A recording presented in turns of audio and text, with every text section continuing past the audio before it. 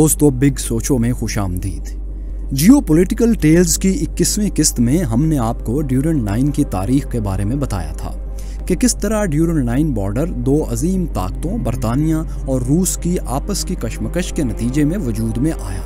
पाकिस्तान बनने के बाद यही ड्यूरन लाइन पाकिस्तान और अफ़गानिस्तान के दरमियान बाकायदा सरहद बन गई। जियो पोलिटिकल टेल्स सीरीज़ की बाईसवीं किस्त में हमने आपको ये बताया था कि किस तरह अफगान अशराफिया ने पाकिस्तान बनते वक्त इस सरहद की कानूनी हैसियत को चैलेंज कर दिया था और ड्यूरन लाइन के मशरक में दरियाए सिंध तक के इलाके को वापस करने का मुतालबा कर दिया था।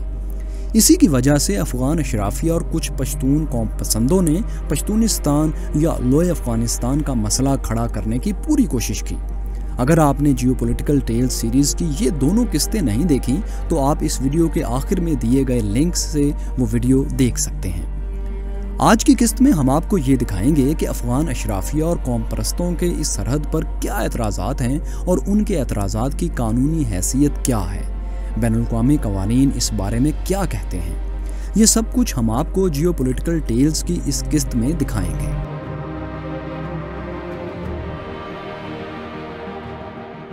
अफगान अशराफिया और इनके हामियों की तरफ़ से अक्सर ये बात सुनने में आती है कि ड्यूरन लाइन माहदा सौ साल के लिए था और इस माहदे की रूह से खैबर पख्तूनख्वा और कबायली इलाके अंग्रेज़ों ने सौ साल लीज़ पर अफ़गानिस्तान से हासिल किए थे।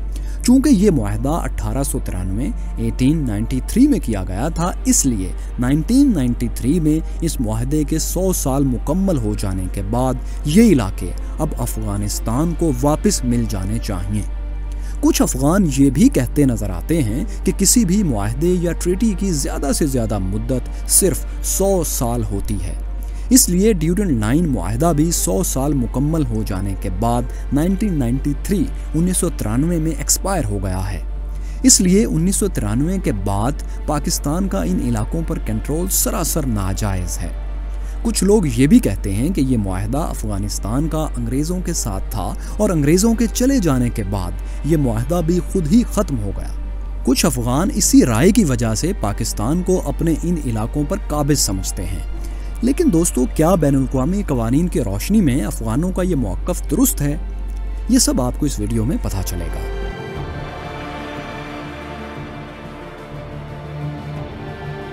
इंटरनेशनल लॉ में किसी भी बैन अवी माहदे और ट्रीटी के इतलाक के मुतलक जो कवानीन लागू होते हैं, इनको Vienna Convention on the Law of Treaties में वजाहत के साथ बयान कर दिया गया है। दुनिया के अक्सर ममालिक वियना कन्वेंशन के इस कानून को पूरी तरह मानते हैं। Vienna Convention on the Law of Treaties में किसी भी माहदे या ट्रीटी के खात्मे के बारे में आर्टिकल चौवन में वाजिया कर दिया गया है। इस इंटरनेशनल लॉ के इस आर्टिकल के तहत दो मुल्कों के दरमियान किसी ट्रीटी के खात्मे की सिर्फ़ दो ही सूरतें हो सकती हैं। पहली सूरत यह है कि इस ट्रीटी के अंदर ही इसके खात्मे की शरात तरीक़ाकार या खात्मे का वक्त बयान कर दिया गया हो। इन शरात या तरीक़ाकार पर अमल करके या इस बयान करदा वक्त के गुजर जाने के बाद ट्रीटी ख़त्म की जा सकती है। किसी माहदे के खात्मे की दूसरी सूरत यह है कि माहदा करने वाली तमाम पार्टीज़ बाहमी रजामंदी से इस ट्रीटी को ख़त्म करने का ऐलान कर दें बैन अवी कवानीन में सौ साल बाद ट्रीटी के एक्सपायर होने वाली बात सिरे से मौजूद ही नहीं है। इसलिए इंटरनेशनल कवानीन की रोशनी में किसी भी माहदे बशमूल ड्यूरन लाइन माहदे के सौ साल बाद खुद से ख़त्म हो जाने वाली बात सरासर गलत है। लेकिन ये एक बहुत बड़ी मिथ है जो ना जाने कैसे अफगान अवाम में और कुछ और दुनिया के लोगों में भी मकबूल हुई है। अगर अफ़गानिस्तान की तारीख को देखा जाए तो ये बात सामने आएगी कि 1919 तक अफ़गानिस्तान की खारजा पॉलिसी अंग्रेज़ों के पास थी। 1919 में तीसरी एंग्लो अफगान वार के बाद अफ़गानिस्तान ने अंग्रेज़ों से बाकायदा आज़ादी हासिल की। इस आज़ादी का बाकायदा ऐलान 1919 की ट्रीटी ऑफ़ रावलपिंडी में किया गया था। 1919 की ट्रीटी ऑफ़ रावलपिंडी में अफ़गानिस्तान को बाकायदा तौर पर अंदरूनी और बैरूनी मामलात में मुकम्मल आज़ाद हैसियत दे दी गई थी। इस तारीखी हकीकत को अफ़गानिस्तान सरकारी तौर पर भी तस्लीम करता है। इसका इजहार अफ़गानिस्तान की सरकारी दस्तावेजात में भी मिलता है। जैसा कि आप इस तारीखी हकीकत के बारे में अफ़गानिस्तान के फॉरेन मिनिस्ट्री की वेबसाइट पर भी पढ़ सकते हैं। यहाँ ये सवाल पैदा होता है कि अगर अफगानों की इस बात को तस्लीम कर लिया जाए कि किसी ट्रीटी की मुद्दत 100 साल होती है तो फिर 1919 की ट्रीटी ऑफ़ रावलपिंडी 2019 में एक्सपायर हो जानी चाहिए थी। और 1919 की ट्रीटी ऑफ़ रावलपिंडी के खात्मे का मतलब ये है कि अफ़गानिस्तान की आज़ाद हैसियत पर ही सवालिया निशान खड़ा हो जाए, जो कि हकीकत नहीं है। सौ साल में ट्रीटी खत्म हो जाने वाले मौकफ के हक में दलाइल देते हुए अक्सर लोग हांगकांग की मिसाल पेश करते हैं। वो ये कहते हैं कि अंग्रेज़ों का हांगकांग की मलकियत का माहदा सौ साल बाद खुद ही ख़त्म हो गया था और अंग्रेज़ सौ साल बाद माहदा एक्सपायर हो जाने की वजह से हांगकांग का कंट्रोल चीन के हवाले करके चले गए थे। हांगकांग वाली मिसाल के जवाब में बैन अवी कवानीन के माहरीन ये कहते हैं कि ये ठीक है कि हांगकांग के इलाके अंग्रेज़ों ने 99 ईयर्स की लीज पर हासिल किए थे और लीज ख़त्म होने के बाद उन्नीस 1997 में अंग्रेज़ ने चीन को ये इलाके वापस कर दिए थे। मगर ऐसा इसलिए है कि अंग्रेज़ों ने चीन के साथ जो लीज़ का एग्रीमेंट किया था, उसके अंदर बाकायदा तौर पर यह बात लिखी गई थी कि लीज़ की मुद्दत निन्यानवे साल होगी। माहरीन मजीद ये भी कहते हैं कि हांगकांग की मिसाल का इतलाक ड्यूरेंट लाइन पर इसलिए नहीं होता क्योंकि ड्यूरेंट लाइन माहदे के मुताबिक खैबर पख्तूनख्वा और कबायली इलाके लीज पर अंग्रेज़ों के हवाले नहीं किए गए थे। और ये बात भी बिल्कुल वाजे है कि अठारह वाले ड्यूरेंट लाइन माहदे में माहदे की एक्सपायरी या ख़ात्मे की सौ साल या फिर कोई और मुद्दत बयान ही नहीं की गई। ना ही इस माहदे में इसके ख़ात्मे की कोई सूरत लिखी गई है। जिससे ये बात साबित होती है कि यह माहदा सौ साल या किसी और मुद्दत के लिए नहीं, बल्कि हमेशा के लिए अंग्रेज़ों के हवाले किए गए थे। अठारह सौ तिरानवे के ड्यूरन लाइन माहदे की कुल सात शिकें थीं। आप ये देख सकते हैं कि ड्यूरन लाइन माहदे की किसी शिक में भी इस माहदे के खात्मे की सौ साल या फिर कोई भी मुद्दत मुतन नहीं है।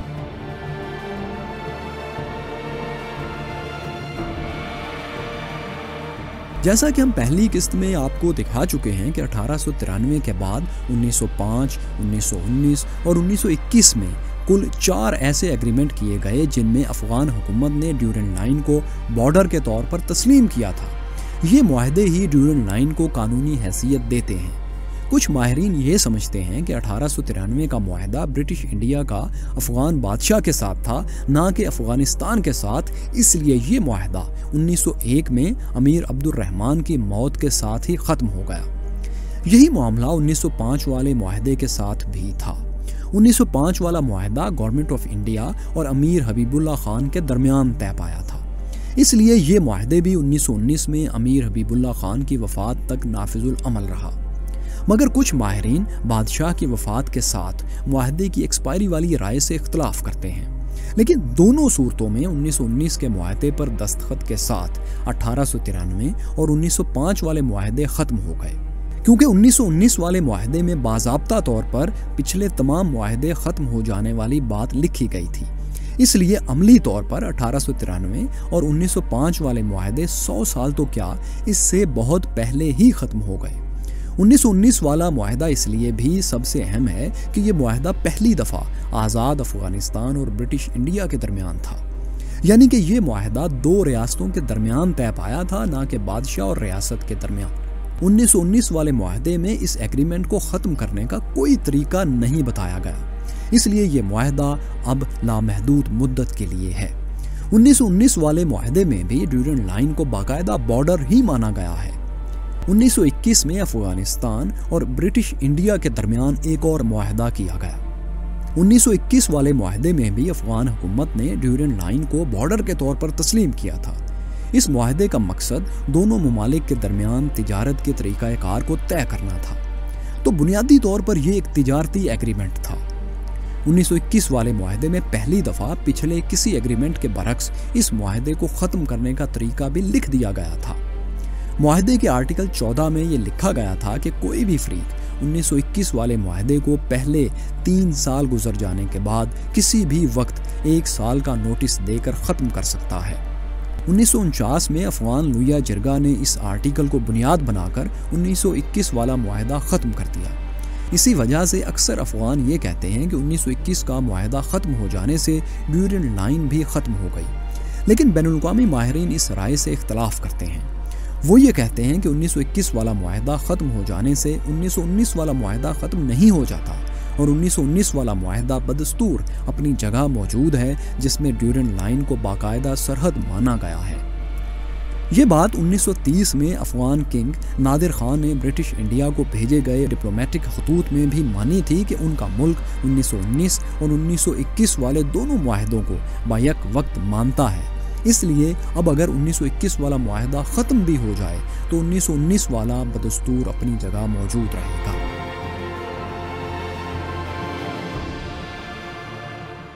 अंग्रेज़ों के बर्र सगीर से चले जाने और पाकिस्तान के वजूद में आ जाने के बाद अफगानों ने ड्यूरन लाइन की कानूनी हैसियत मानने से इनकार करना शुरू कर दिया। कुछ अफगानों का ये मौकफ था कि चूँकि ये तमाम माहदे उनके और अंग्रेज़ों के दरमियान तय पाए थे, इसलिए अंग्रेज़ों के चले जाने के बाद ये माहदे खुद ही ख़त्म हो गए। और चूँकि अफ़गानिस्तान का पाकिस्तान से ड्यूरन लाइन पर कोई माहदा नहीं, इसलिए ड्यूरन लाइन की कानूनी हैसियत ख़त्म हो गई। ये बैन अवी कवानीन के सरासर खिलाफ बात है दोस्तों। आज दुनिया के ममालिक के दरमियान जितने भी बॉर्डर वाक़ हैं, इनमें से अक्सर बॉर्डर्स कॉलोनियल पावर्स के इकतदार के दरमियान ही तय पाए थे। कॉलोनियल पावर्स के चले जाने के बाद नई वजूद में आने वाली आज़ाद रियासतों ने वो बॉर्डर कॉलोनियल पावर्स से ही इनहेरिट किए थे, यानी उन्हें विरसे में मिले थे। आज अगर तमाम ममालिक इस बुनियाद पर वो बॉर्डर्स मानने से इनकार कर दें कि उन्होंने तो इन बॉर्डर्स को तय ही नहीं किया था और ना ही इन बॉर्डर्स को मानने का उन्होंने कोई माहदा किया था तो ऐसी सूरत में दुनिया एक ना ख़त्म होने वाली जंगों की तरफ़ धकेली जाएगी और इंतहाई गैर यकीनी सूरत हाल का सामना हमें करना पड़ेगा। इसलिए बैन अवी कवानीन में इस चीज़ को पहले ही तय कर दिया गया है। बैन कानून में नई पैदा होने वाली किसी रियासत, यानी सक्सेसर स्टेट को इस बात का पाबंद किया गया है कि वो अपनी पहली रियासत, यानी प्रीडिसेसर स्टेट के तय किए हुए माहदे को मानेगी। बैन अवी कवानीन में ये बात Vienna Convention of Succession of States in Respect of Treaties के आर्टिकल 11 में तय की गई है।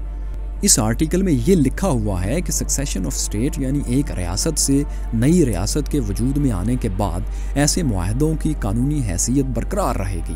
जो माहदे किसी बाउंड्री यानी बॉर्डर को तश्कील देता होगा वो पुरानी रियासत से खुद ही नई रियासत को मुंतकिल हो जाएगा।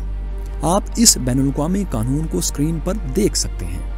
सो so, दोस्तों बैन अवी कवानीन ड्यूरन लाइन के बारे में बिल्कुल वाजे हैं कि ये माहदे अंग्रेज़ों के चले जाने के बाद उनकी सक्सेसर स्टेट्स यानी पाकिस्तान को मुंतकिल हो गए। इसी कानून के तहत खुद अफ़गानिस्तान के दूसरे बॉर्डर्स रूस के चले जाने के बाद उसकी सक्सेसर स्टेट्स यानी ताजिकिस्तान, उज्बेकिस्तान और तुर्कमानिस्तान को अज खुद मुंतकिल हो गए थे। अब देखिए कि अफ़गानिस्तान को इस कानून को वहाँ लागू करने में तो कोई एतराज़ नहीं। तो फिर यहाँ क्यों?